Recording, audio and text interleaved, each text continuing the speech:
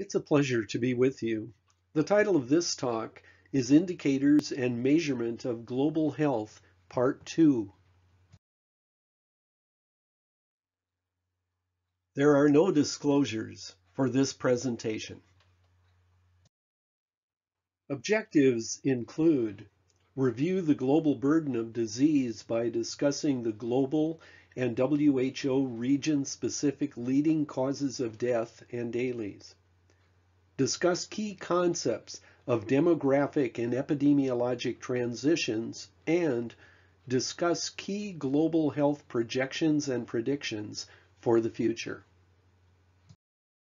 Let's now use some of the measurement tools discussed in Part 1 to consider the global burden of disease. For the next several slides, we will be reviewing tables demonstrating the global and regional disease burdens based on socioeconomic status, gender, and age. The term SDI will be used to reflect the socioeconomic status of a country. SDI stands for Socio-Demographic Index, a summary measure that identifies where countries or other geographic areas sit on the spectrum of development. Notice the difference in priority when considering causes of death versus the quantitative impact a disease state has on health as demonstrated by the DALYs. These values are recorded as a percent of the total. The five leading global causes of death in 2017 in descending order were ischemic heart disease, stroke, chronic obstructive pulmonary disease, COPD, lower respiratory tract infections, and Alzheimer's disease. Yet the five leading health impacts via DALYs have neonatal disorders moving from the seventh position in leading causes of death to the top of the list, followed by ischemic heart disease, stroke, lower respiratory tract infections, and COPD. So DALYs provide a different perspective on disease burden versus just considering the causes of death in a population. As we do a quick global tour of disease burden, we will consider both death and DALYs to provide a more accurate and comprehensive view of the global disease burden. These tables present the 10 leading global causes of death and DALYs for low socio-demographic index SDI countries. The five leading causes of death in low SDI countries in 2017 in descending order were ischemic heart disease, neonatal disorders, diarrhea, lower respiratory tract infections, and stroke. The five leading health impacts via DALYs are neonatal disorders, lower respiratory tract infections, diarrhea, malaria, and congenital diseases. Both lists have neonatal disorders, lower respiratory tract infections, and diarrhea listed in the top five, but in a different priority order. Ischemic heart disease and stroke only appear on the causes of death table, not on the DALYs table. Malaria moved from eighth place on causes of death to fourth on the DALYs table, and congenital birth defects from 10th place on causes of death to 5th on the DALYs table. The five leading global causes of death in high SDI countries are ischemic heart disease, Alzheimer's disease, stroke, lung cancer, and COPD. The five leading health impacts via DALYs are ischemic heart disease, back pain, stroke, lung cancer, and COPD. Back pain replaced Alzheimer's on the five leading causes on the DALYs table. For the next several slides, let's look at some World Health Organization regional causes of death and DALYs, starting with the European region. This region's leading causes of death were ischemic heart disease, stroke, Alzheimer's disease, lung cancer, and cirrhosis. The five leading health impacts via DALYs in 2017 were ischemic heart disease, stroke, back pain, falls, and cirrhosis. Falls and back pain replaced Alzheimer's and lung cancer on the five leading causes DALYs table. The West Pacific region's leading causes of death were stroke, ischemic heart disease, COPD, lung cancer, and Alzheimer's disease. The five leading DALYs were stroke, ischemic heart disease, COPD, neonatal disorders, and road injuries. This is the first time we've seen road injuries on the top five list of DALYs. For this session, I've divided the Americas region into two subregions, high-income North America and Latin America and the Caribbean. For the discussion of the high-income North America subregion, I've included Canada, Greenland, and the United States. Since Greenland is an autonomous territory of Denmark, it will also be included in the Europe region's tables. The leading causes of death in the high-income North America subregion were ischemic heart disease, Alzheimer's disease, lung cancer, stroke, and COPD. The five leading health impacts via DALYs were ischemic heart disease, drugs, COPD, back pain, and lung cancer. Notice that diabetes is in ninth position as a cause of death and sixth position in the DALYs table. Also note that drugs are in the 10th position as cause of death and second position on the DALYs table. In the Latin America and the Caribbean subregion of the Americas, the leading causes of death were ischemic heart disease, stroke, lower respiratory tract infections, diabetes, and Alzheimer's disease. The five leading health impacts via DALYs in 2017 were violence, ischemic heart disease, neonatal disorders, diabetes, and road injuries.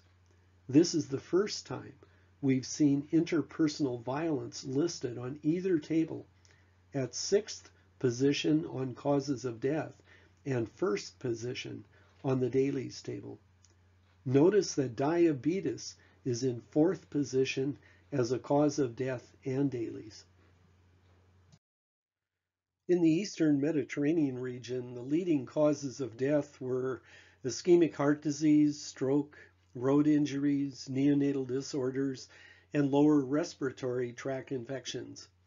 The five leading DALYs were ischemic heart disease, neonatal disorders, congenital conditions, road injuries, and conflict and terrorism. This is the first time we've seen conflict and terrorism appear on either list. Position 7 on the causes of death and position 5 on the DALYs table. The leading causes of death in the Southeast Asia region were ischemic heart disease, COPD, stroke, diarrhea, and neonatal disorders.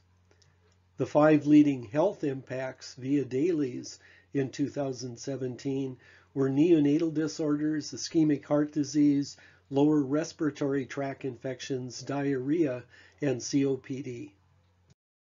For the African region, the leading causes of death were HIV, neonatal disorders, lower respiratory tract infections, diarrhea, and malaria.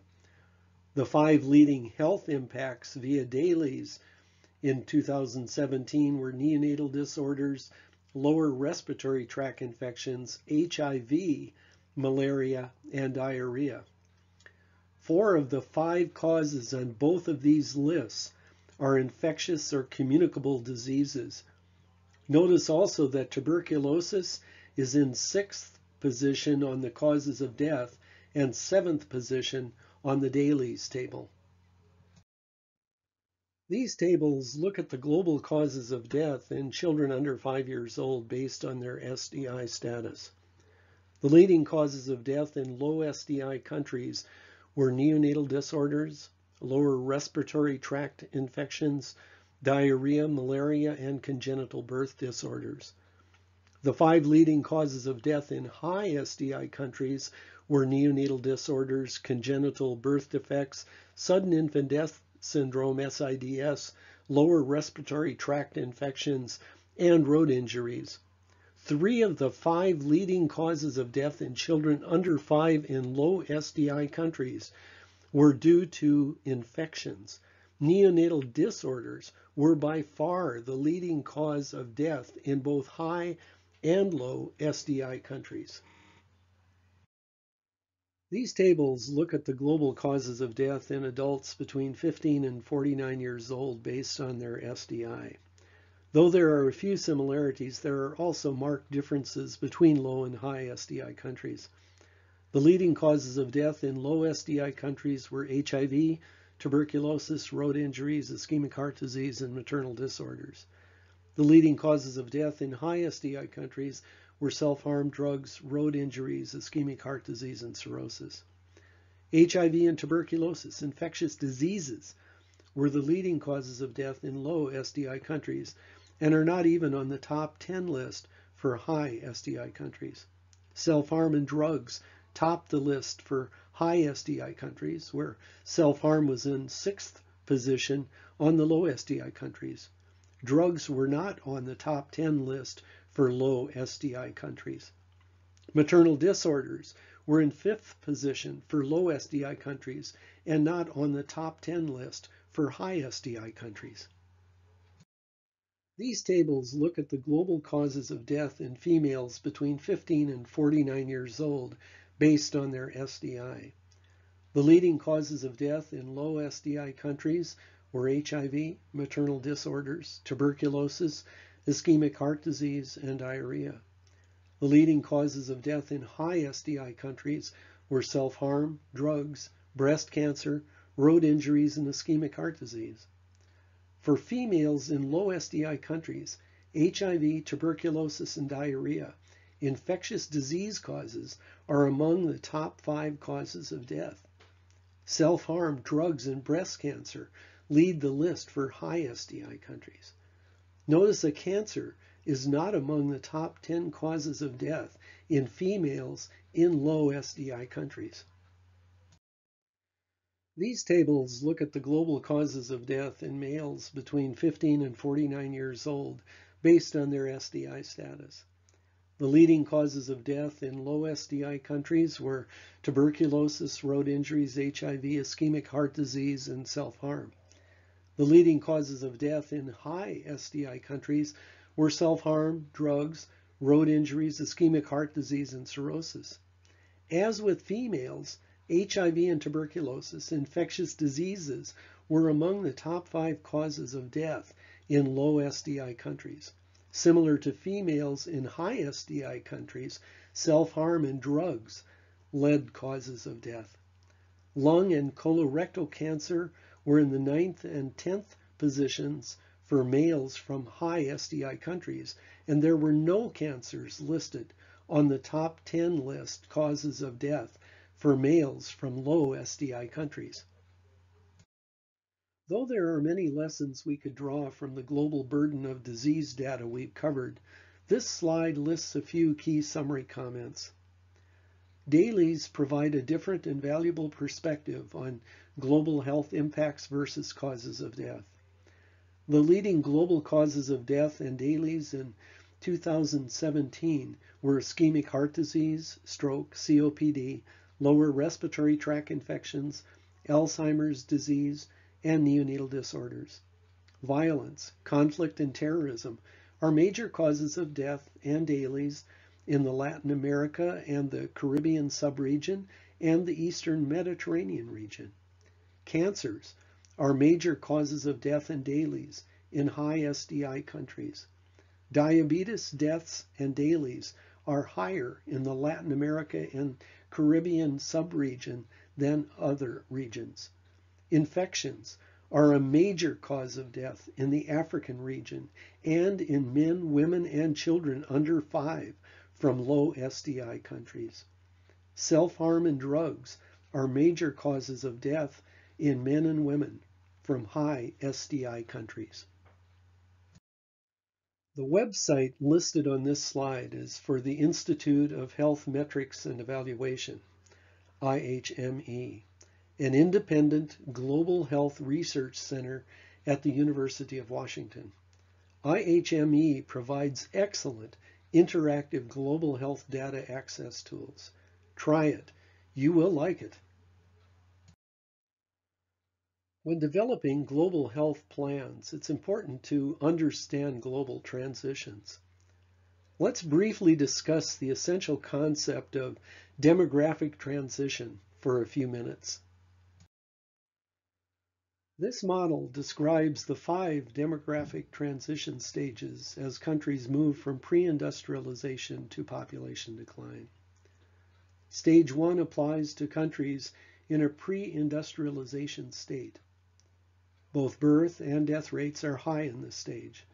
As a result, population size remains fairly constant, but can have major swings with catastrophic events like wars or pandemics.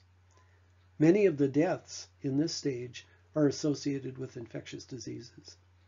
Stage two is associated with the introduction of modern medicine, which dramatically lowers death rates, especially among children. Infectious diseases are being addressed through the development of public health and clinical systems.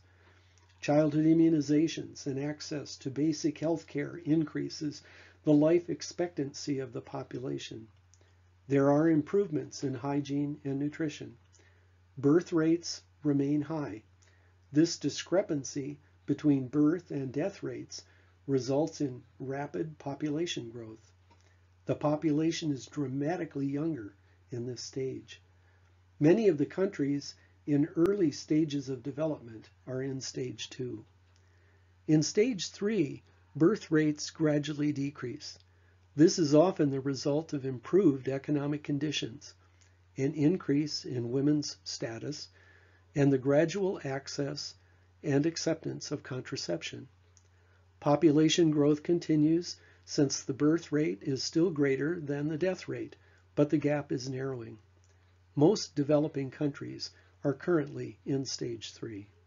In stage four, birth and death rates are both low, stabilizing the population. These countries tend to have stronger economies, higher levels of education, better health care, a higher proportion of working women, and a fertility rate hovering around two children per woman. Most developed countries are in stage four. Stage five would include countries in which fertility rates have fallen significantly below the replacement level of two children per woman. The older population number bypasses the younger reproductive population, so the total population number declines in stage 5. Understanding these transition stages is essential for long-term global health planning. Another way to demonstrate this demographic transition is via growth pyramids. This graph shows growth pyramids for Kenya, the United States, and Italy in 1994. Kenya was in transition stage 2 to 3 in 1994 with birth rates high and death rates declining. The population was heavily weighted towards young people under 35, as demonstrated in the graph. This growth pyramid pattern would be common for many developing countries.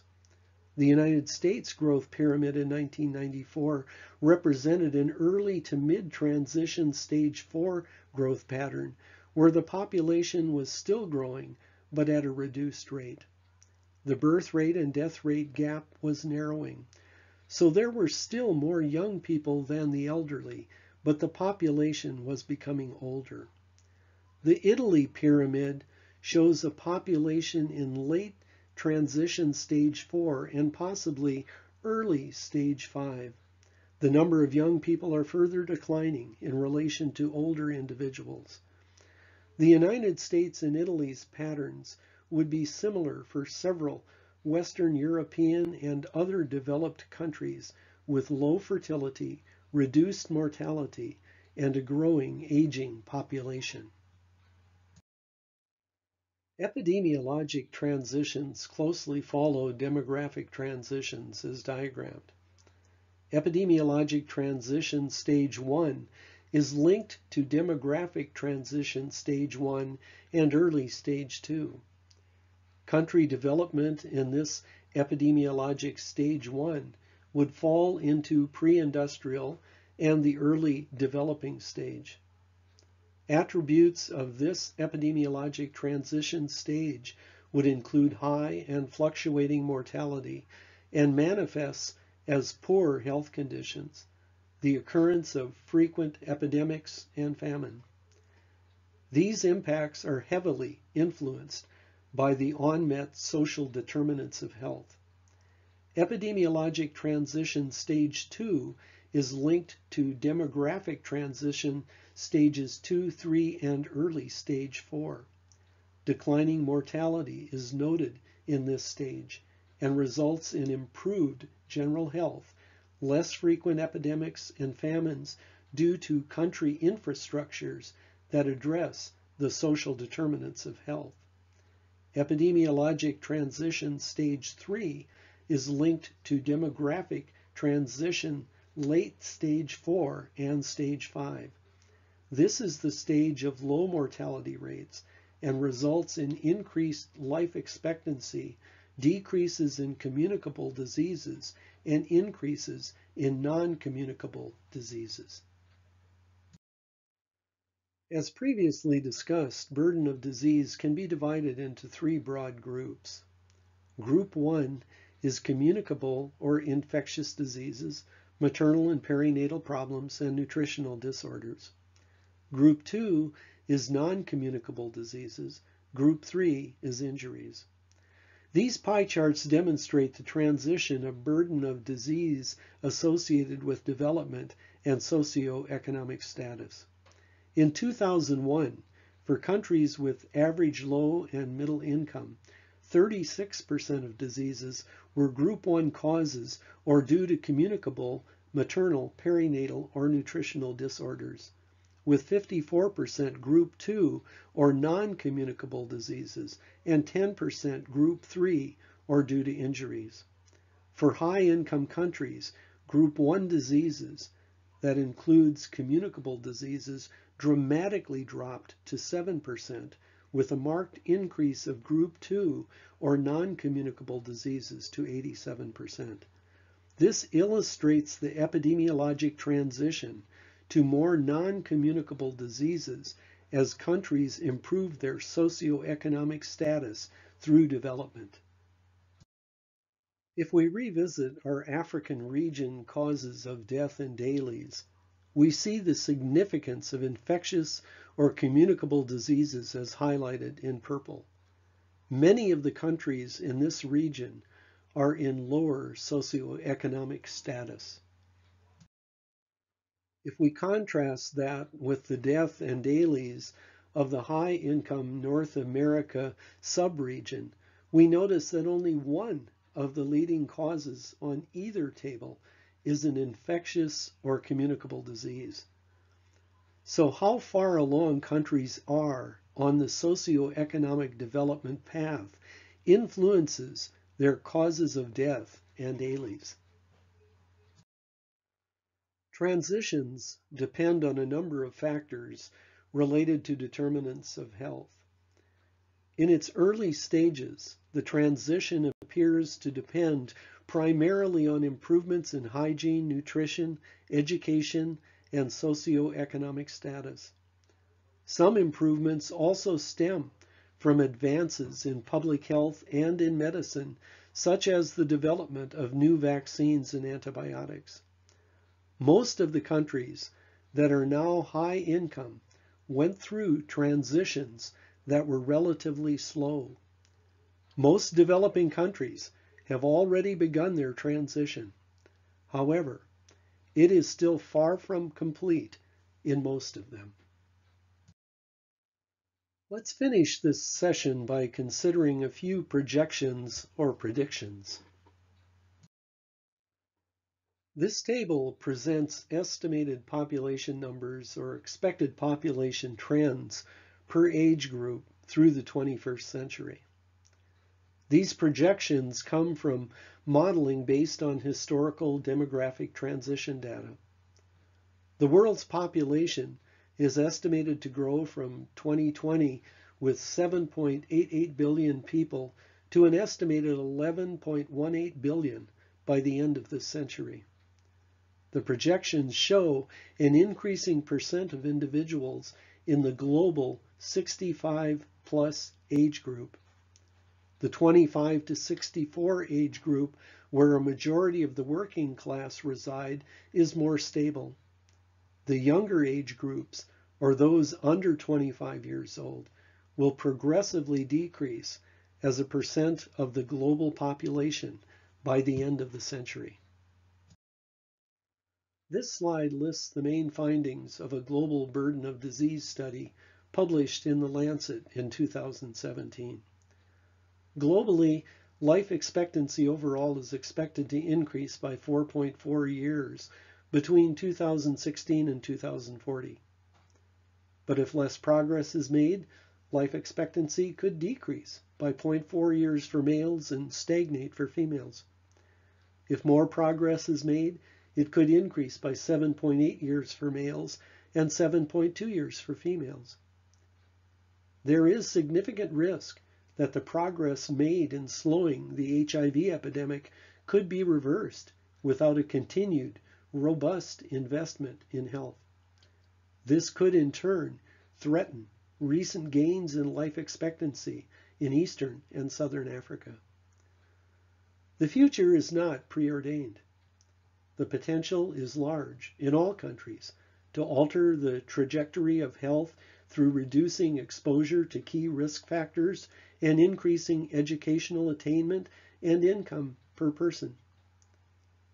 The table compares the 2017 global leading causes of death with the 2040 prediction reported in the article. Eight causes are similar between the two lists, except for changes in order and include ischemic heart disease, stroke, lower respiratory tract infections, COPD, Alzheimer's disease, diabetes, lung cancer, and diarrhea. The 2040 prediction adds chronic kidney disease and road injuries and removes neonatal disorders and cirrhosis from the 2017 list. Ischemic heart disease, stroke, COPD, and lower respiratory tract infections will continue to be the leading four global causes of death in 2040 if this prediction is accurate. Let's discuss risk factors for a few minutes.